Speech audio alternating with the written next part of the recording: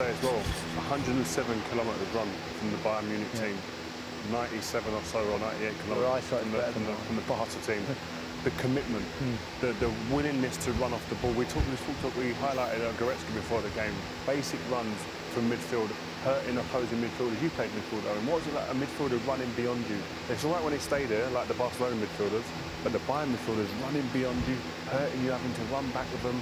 These Yeah. things make it so difficult. It's a great point. You think about how good a football player Frenkie de Jong is, yeah? He's a beautiful football player. Who was the better player today? Goretzka or Frenkie de Jong? Frenkie de Jong never hurts you at any point. He wants everything to feet. He wants everything easy. Goretzka hurt you every time he was tackling, messing, Playing out of getting in the position box. in a way as well, De Jong, on the left-hand side. He seems he seems very, you know, not very comfortable in that position. They've got seems to have a lot of square pegs in round holes. Oh, we said that before the game. Yeah. Sergio Roberto And it's- playing out wide, Frenkie de Jong playing out wide, Vidal almost as a number 10. Busquets, he's not going to stop people in there. I mean, they had a lot of people playing positions that they wouldn't normally. And normally Barca out football everyone. They couldn't out football Bayern today. They can't do that. If, if Manchester City beat Lyon, they, they can't do that to them. Can they be different proposition, wouldn't they? Particularly if they played that high line. Owen, Owen said they, they, they're a perfect team. I understand what he's saying in some, some elements of it, but defensively, if I'm Raheem Sterling, Kevin De Bruyne, Definitely. Foden, etc., Aguero if he's fit, I'm thinking, please get us past Lyon because I see goals.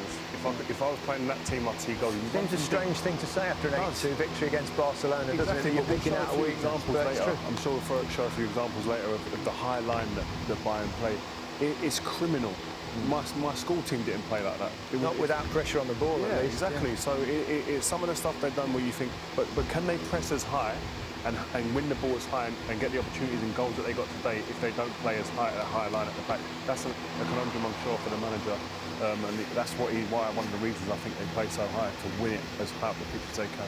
Let's uh, have a breather. And we'll look at that analysis and all the goals. That might take quite a while. Uh, well, just one club now stands between Bayern and the Champions League final. But will that club be Manchester City? Manchester City launch again their search for the missing one, the telling one. Manchester City are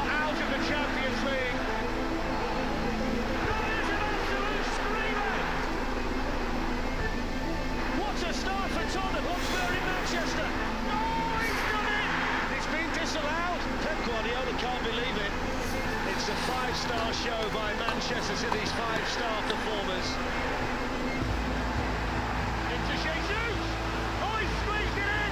Sterling takes on Carvajal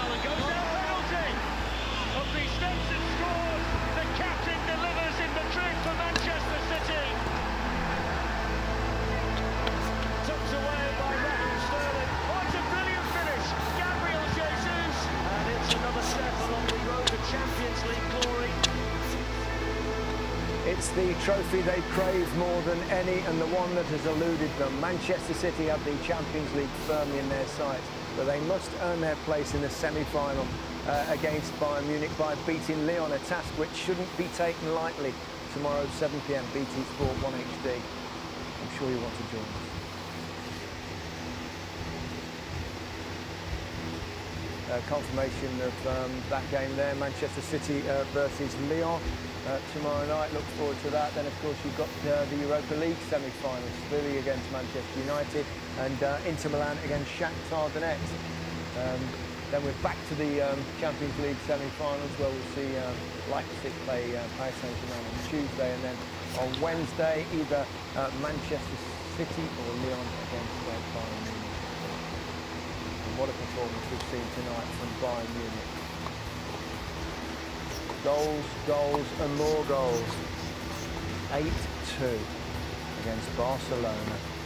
And a tough night for their coach and their master.